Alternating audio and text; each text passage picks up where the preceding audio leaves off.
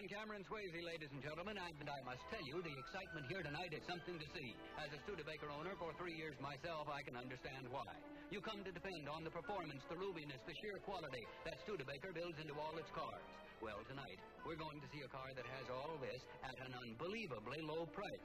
I have it right here, and frankly, when they told me, I couldn't believe my ears. I had to ask, is it a compact?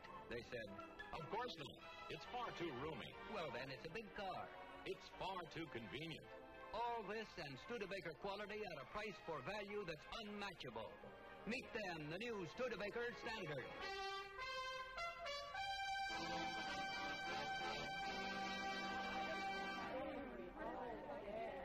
My, that's a good looking car. It's so comfortable and roomy. Yes, there's more headroom in this Standard than in any popular price car in the country. Mr. Swayze, is this really as good as some of the big cars? In my opinion, ma'am, much better. And how much will it cost? My, that's incredible. See your Studebaker dealer tomorrow for that incredible price on the all-new Standard, setting the standard for 1963 in price and quality.